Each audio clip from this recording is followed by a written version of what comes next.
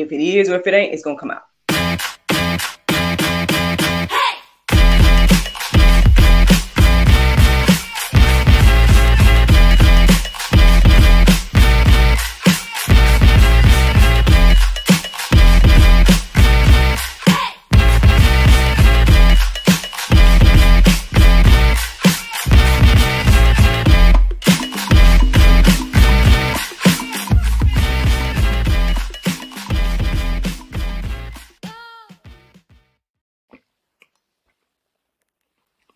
Morning, everybody. It's your girl Miracle Sims, and you're listening to God, Sex, and Love. Your daily dose of inspiration juice. It is September the 29th, 2023, and today the topic is You think this is a game? you think this is a game, y'all. Happy Friday. Happy Friday, everybody. I hope that you all had a wonderful day yesterday. Mine was just fine. Um, it was a Thursday, y'all. Y'all know my Thursdays. I um worked at church. Um, only slight differences. I mean, we got breakfast instead of bringing a lunch, and um, what else? Oh, oh I ended up staying a little bit longer because I helped out with uh, getting things together for the new series is coming out the church and whatnot, and so yeah, um that's the only significant thing to share in regards to yesterday. But, oh Lord, uh, as for this morning, um, you know, I was sitting here thinking, like, right before I went live, I'm like, you know, if anybody come across me, man, I guess this might be for you because I mean, I, I'm not sitting here trying to act like I'm, you know, some major person with a major platform or whatever the case may be. But the stuff that I feel like the Lord be sharing with me be like major stuff where I'm like, maybe more people need to hear this, but hey, I don't know. Maybe it's just you, right? Whoever you are, maybe you're just so important that you need to hear these things. Uh, obviously, you are important to the Lord. I mean, of course, but what I'm saying is that again, there's still power in one to one to one. So, with that being said, uh, do you think this is a game? I mean, I guess that's the question we should ask um, ourselves today.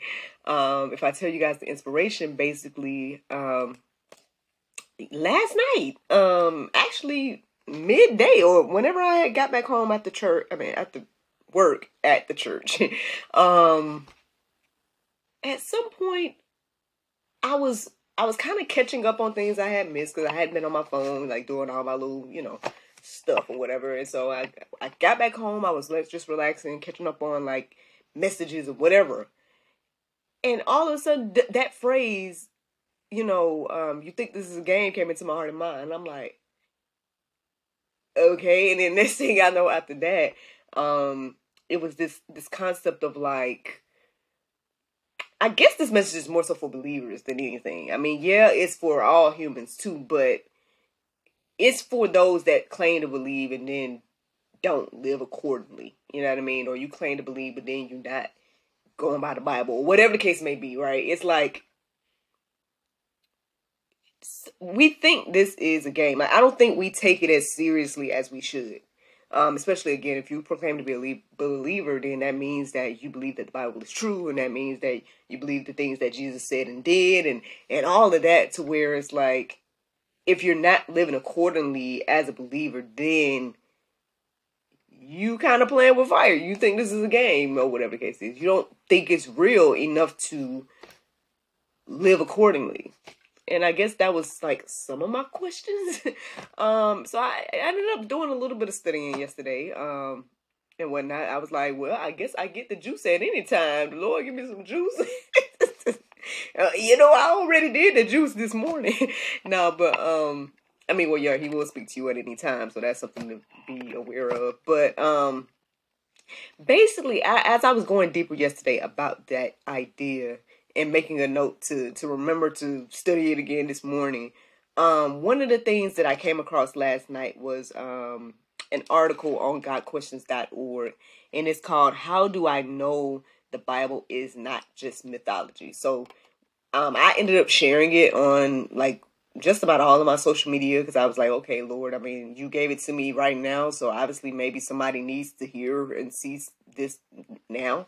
Um, what I just read. Um, So you guys can go and take a look at it and whatnot. I mean, if you feel led to do so. But um I found it to be quite interesting. So okay, so this morning, um, no wait, so last night I woke up around twelve twenty three randomly.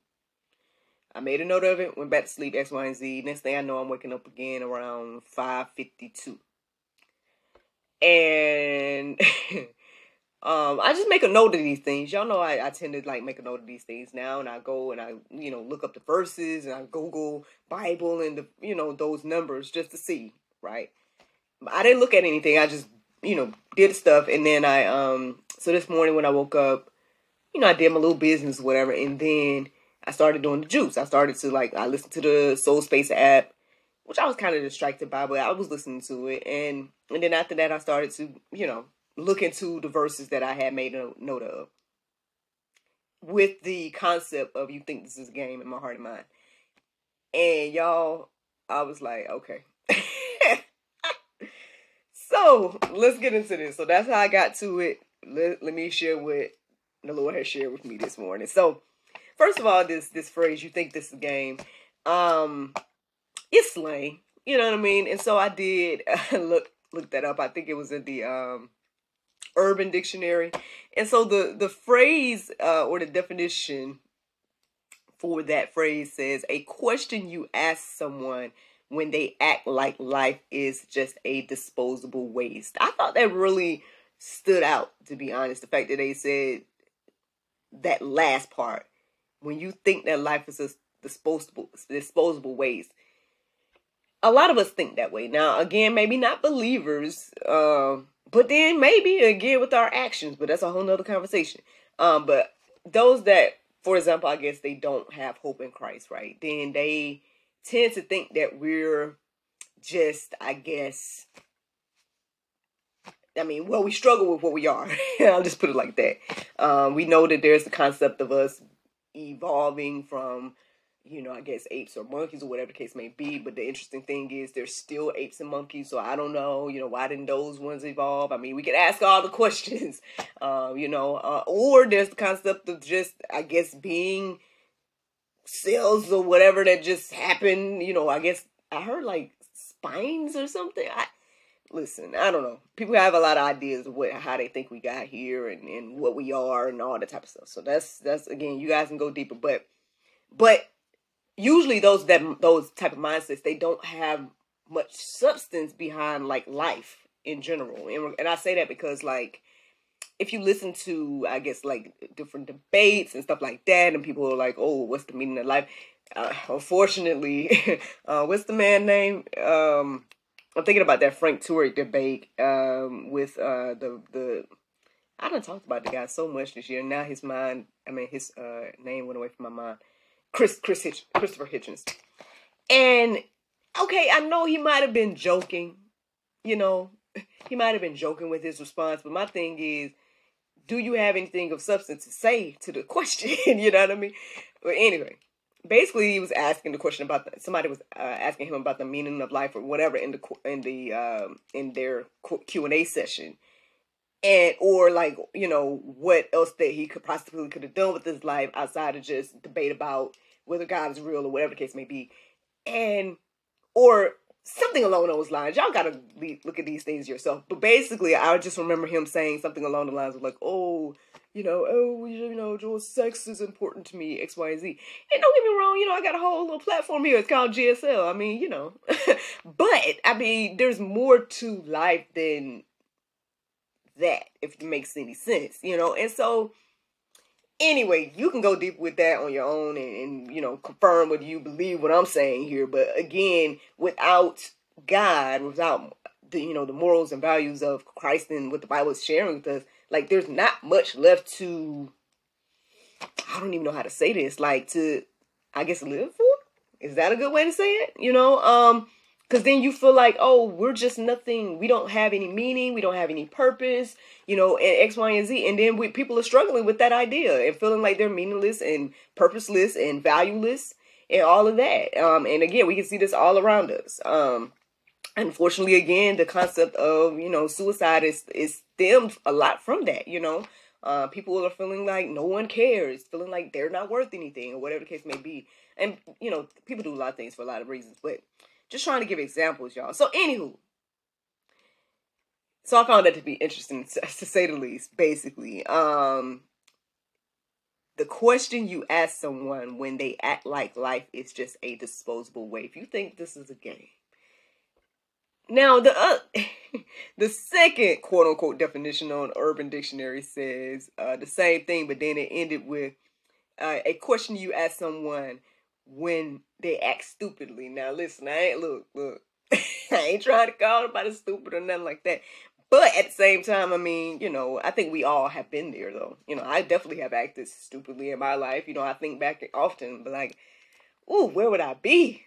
you know? Or not even just where would I be, but like thanking God that things didn't like be worse, you know? Um a lot of the situations that I've, I've been in in life could have been like detrimental. Like I probably wouldn't be here today talking or whatever the case may be if things were just a little bit differently, if not for the grace of God and his protection or whatever the case may be. And so anyway, we can go deeper with all of that. But um, do we think this is a game? Do we think life is a game? Do we think the things in the Bible is not real or a game or a myth, right? Things of that nature. We can go deeper with this this question.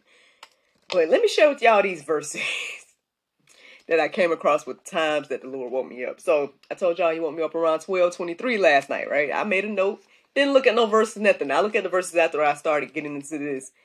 And this verse says, uh, John 12, 23, I was led there. And it says, And Jesus answered them, saying, The hour is come that the Son of Man should be glorified. I was like, uh oh. now that don't sound bad. That don't sound like a bad thing. Oh, the hour come. God, you know, Jesus is gonna be glorified. But at the same time, when you see something about hours come, you like, ooh, it's time up. Uh oh. uh oh, time is ticking. That's the vibe I was getting when I read that verse. I was like, okay, I just made a note of it. It sounded good. I just was like, okay. And then I went and looked at uh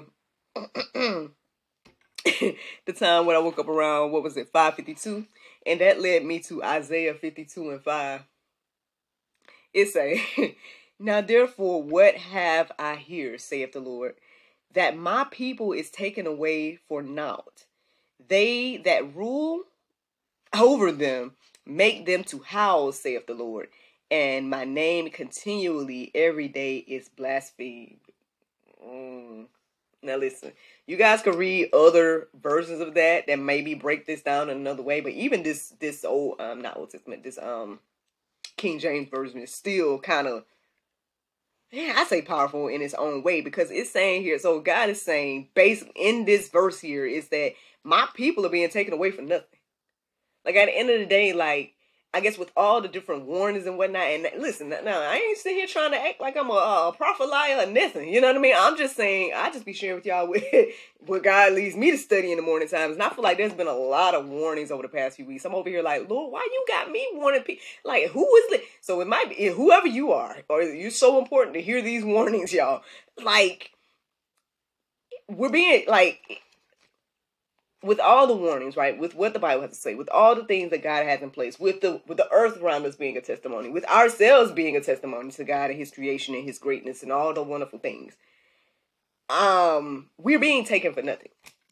Ultimately, like if we, I guess what I'm receiving here is that if we, um, how can I say it? Um, not say fall short because we all fall fall short, but if we, I guess, neglect and ignore the warnings um and things of that nature, then we're truly being taken for nothing because God has done everything to uh make a way. You know, He's done everything to make a way and to show us that He's here. Now, I ain't gonna lie. I was going deeper about all this and I was asking some more questions because I was like, well, Lord, you know, there's a lot of things out here, you know, and a lot, obviously, a lot of options and stuff like that. Now, the interesting thing is, God didn't lead me to no more verses, so I ain't got no more verses other than the Bible verse of the day, and we'll get to that in a minute. But where he did lead me is um for y'all to go deeper. Cause I mean, I guess the the thing is there's so many different things where again sure it's it's good to go and hear a word, you know what I mean? Like, yeah, it's good to hear what the pastor got to say, listen to the juice in the morning. All this stuff is good, but at the end of the day, if you're not reading the Bible for yourself and getting it for yourself, then that's probably part of the issue of why we think this is a game because we're not taking it seriously enough to, to to even study and that was another thing too. As I was going deeper, um, I think it was in, I think I put the verses in the go deeper section, but honestly, this is the fault of the believers. You know, um, because a lot of us, again, we're claiming to believe, but then we're not living accordingly or we're not even studying the Bible for ourselves to know what it says, but then we claim to be believers. Like, uh, and I, I'm guilty too. Look, look, I just started doing juice April 1st, 2020. Y'all know that. And I just started like take being intentional about, you know, okay, I'm gonna study every day. Eh, not knowing that I was gonna do this every day, you know, and not knowing that God was gonna actually have something for me to say every day.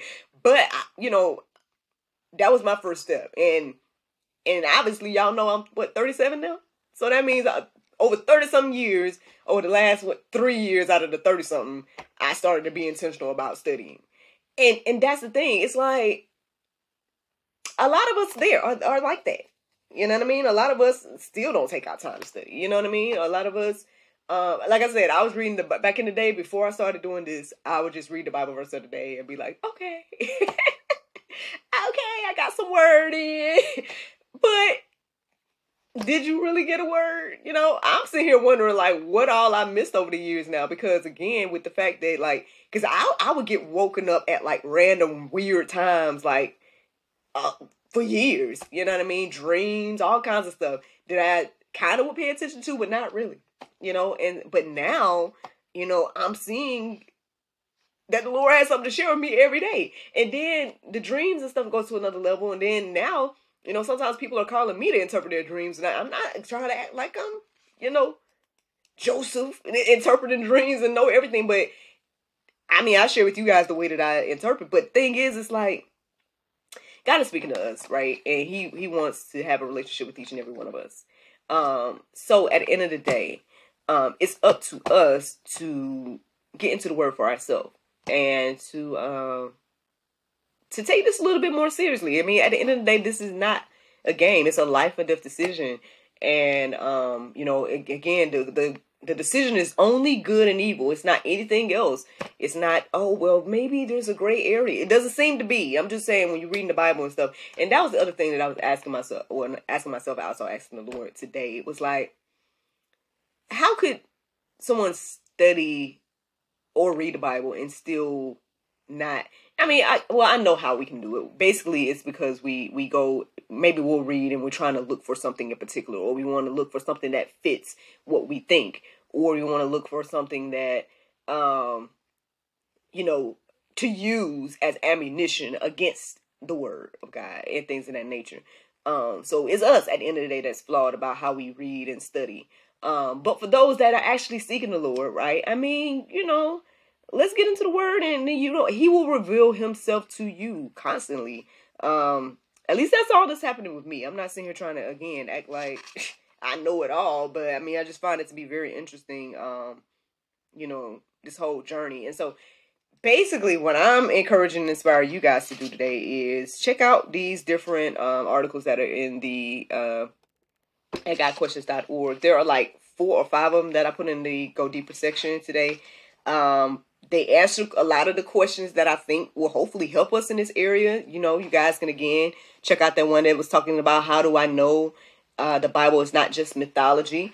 Um, there's another one that I read with that I got led to after I started looking into this, and um, and it was talking about what is blasphemy because I felt led to go deeper about um that verse I just read, Isaiah 52 and 5. And and it the very first thing that I saw when I went to GotQuestions.org and put that verse in was what is blasphemy. So we might need to study that today. Um, there's another one that says, "Is there any conclusive proof to God?" That might be another one to look into. And then another one is, "Is there proof for the interpretation of the Bible?" I mean, um, oh, and then there's another one that's also, "How does God reveal Himself to us?" I think I'm, I, I can't remember if I put that one in the go deeper section, but it was one that I was like looking at as well. I mean, you if you got questions, ask the questions. You know what I'm saying, and go deeper and ask the Lord the questions and and seek the wisdom that has been put in place. Like we have no excuse. Like at the end of the day, um, like yeah, I feel like we're more separate from God now than the biblical figures was. Um, and then maybe even the generation before us, which we kind of talked about yesterday, the generations before us, um, obviously tapped into the things of God on a whole nother level than we are. But um, but we're the ones with all the technology and, and easy access to information and and all this other type of stuff. But um, it's not a game. Basically, I guess I'm just here to remind us all that this is not a game. It seems to be a very, very serious decision and choice that we all have to make. And um, you know, I hope and pray that you know those that are listening to the sound of my voice or whatever the case may be, like we are not lost in not the sauce, lost in the process, you know, of um asking the questions and, and seeking the Lord and whatnot. Um I mean, there were some more things that came into my heart and mind as I was studying all of this, but I guess I didn't say what I needed to say, man. Just go deeper for yourself you know, try to get the answers to the questions that you have. I mean, like I said, GotQuestions.org is an awesome resource. I've shared uh, a variety of resources with you guys that you guys can peruse and let marinate on your heart, souls, and minds. But I mean, I guess that's the juice, y'all. This ain't no game, so stop acting like this is a game. Um.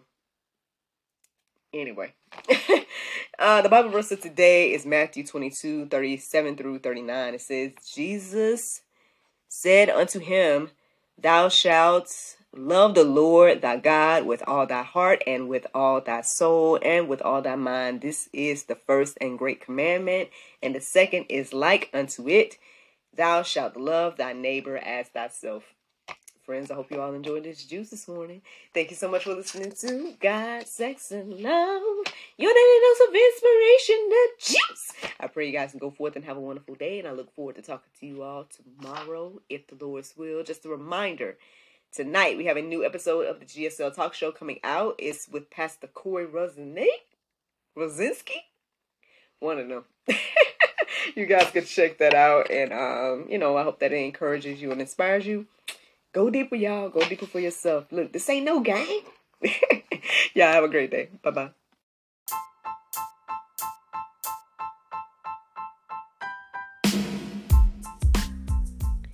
Did you know that you can support us for just 99 cents a month? That's right, friends. You can support everything that we do here at GSL for just 99 cents a month. Take a look around wherever this post is. You might see a link or maybe even a button that says support. Go there, check out the options, consider supporting us because, you know, we enjoy bringing you all the daily inspiration as well as the weekly talk show, but we have much, much more to come.